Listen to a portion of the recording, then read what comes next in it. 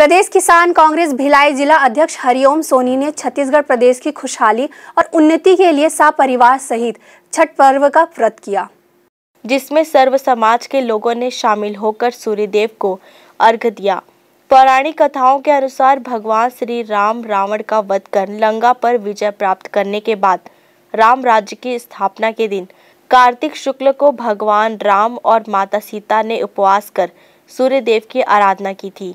इसके बाद सप्तमी के दिन सूर्योदय के साथ अनुष्ठान का सूर्यदेव से आशीर्वाद लिया था। माना तो यह भी जाता है कि पांडवों की पत्नी द्रौपदी ने भी सूर्यदेव की आराधना कर अपने परिजनों की उत्तम स्वास्थ्य और लंबी उम्र के लिए सूर्य भगवान की पूजा की थी। उसी तरह छठी माता के 36 घंटे का निर्जला व्रत कर आज सुबह माताओं ने अपने संतान की लंबी उम्र की कामना कर उगते सूर्य को अर्घ्य देकर छठ पर्व का आज चौथे दिन का समापन किया है।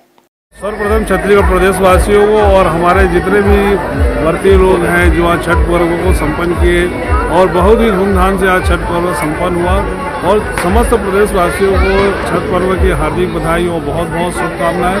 और छत्तीसगढ़ की प्रगति के लिए, छत्तीसगढ़ की उन्नति के लिए, छत्तीसगढ़ और समस्त जीव जंतु की उन्नति के लिए और उनकी शांति प्राप्ति के लिए आज ये छठ पर्व किया जाता है। छठ पर्व को करने से सारे प्रकार के कष्ट दूर हो जाते हैं और छठी मैया की कृपा ऐसी होती है कि सारे रोग, शोक, संताप सब नष्ट हो जाते हैं और छत्तीसगढ़ के लिए और समस्त प्रदेशवासियों के समस्त जीव जंतु के लिए ये छठ वर्ग किया जाता है। छठ वर्ग की महिमा इतनी बड़ी है कि हर प्रकार के सुख और समृद्धियों को छठ मैया के द्वारा प्रदान होती है। और मैं समस्त छठ पर्व पर समस्त प्रदेशवासियों को हार्दिक बधाई देता हूँ, शुभकामनाएँ देता हूँ। और हमारे छत्तीसगढ़ प्रदेश किसान कांग्रेस के जितने भी हमारे भाई हैं और हमारे यशस्वी माननीय मुख्यमंत्री, सभी को छठ पर्व की हार्दिक बधाई और शुभकामनाएँ। ग्रैंड न्यूज़ के लिए अतुल शर्मा की रिपोर्ट।